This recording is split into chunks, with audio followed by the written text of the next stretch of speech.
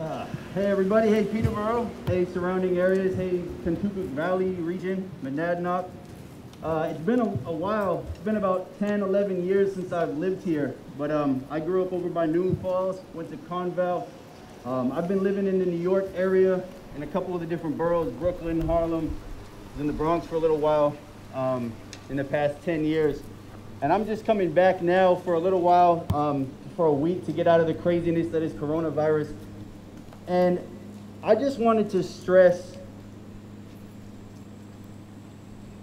a point that I've felt to be very useful for me over the past few years um, as I've been uh, going through my white life in a predominantly black space.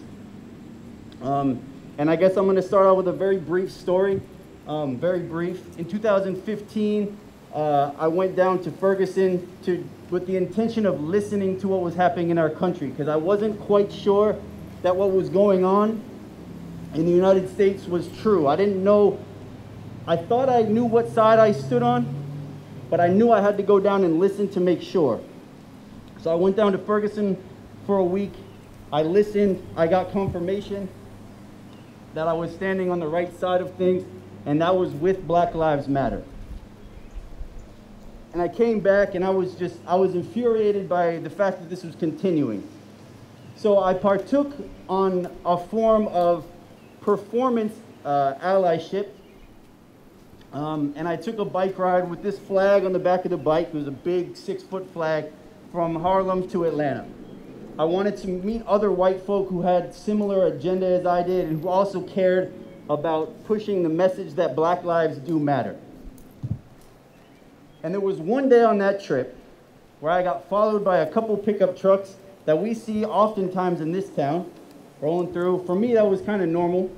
But for me on that trip with that flag, that message, be, that, that sight became much different. The meaning of that sight became much different. I became more aware of the fact that those pickup truck drivers who slowed down and tried to look at what color the flags flew, this is the flag of black liberation, by the way. So the people who slowed down to try to see what I was about scared me. A couple stopped, a couple told, a couple told me to get out of their town. A couple made threats. And there was one day as north as Maryland that one somebody told me that I best not let that sun set on my ass because I'm not in Harlem anymore. started to rain a little later, and I had a breakdown because I realized that I was scared. I was scared about my safety in that moment. And then I realized that I could take that flag down anytime I want, and then I'm just a white dude on a bike in some small town in, in Maryland or Delaware, or wherever I was.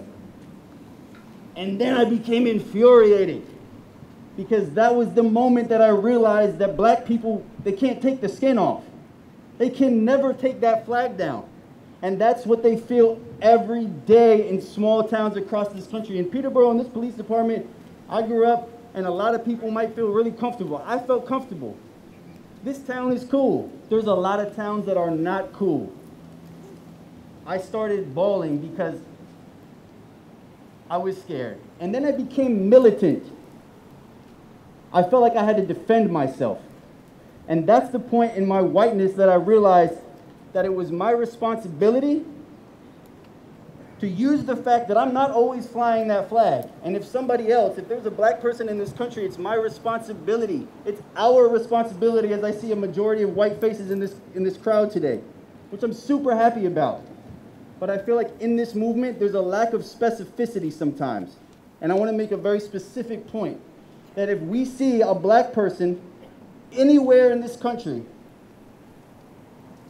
where harm is being done upon them, it is our responsibility as allies to step in and ask, at least ask what's going on.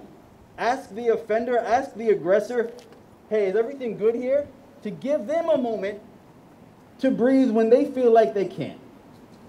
Because if there's a cop who has a amygdala hijack in his mind who's going either fight or flight, it might not be that serious. It might not be that serious. And if you ask, hey, is everything good? Can I, can I do anything to help? I'm just observing, and it looks like things might get out of hand here. That's our responsibility. And if it's already going on, it's our responsibility to put our bodies in the way of that altercation. And if we're going to sit here with our signs and say that we're complicit, we have, if we're at the edge, we've been complicit all of our white history. And right now, this is new ground. We've been stepping on this grass for a long time. This grass can resemble our white history of being complicit. But stepping in, that's new ground. We've never been here before. As a whole community, as a whole white America, as a whole white Peterborough, we've never collectively stepped from our white supremacist history into a place where we're comfortable collectively to stand in front of a police officer or some bigoted individual in between them and a black person in this country. And that's what we need to agree on every day. Every day we need to wake up and realize that that's the commitment we're making if we're going to be out here with the signs that we face, with, with the signs that we have. And lastly, if there's times in which you feel like you don't know how to do it or you're uncomfortable with that, I'm gonna stay here because this is a better spot. We gotta, we gotta stay in that discomfort. We gotta examine that because that's where our lesson is. The spots that we're not comfortable with when we conceptualize all of these things and about how we can interject, that's that uncomfort, that discomfort is exactly where we need to be because that's we can figure that part out. That's how we make the next step and leave that history even further behind us. That's our physical responsibility. Thank you guys. I really appreciate it.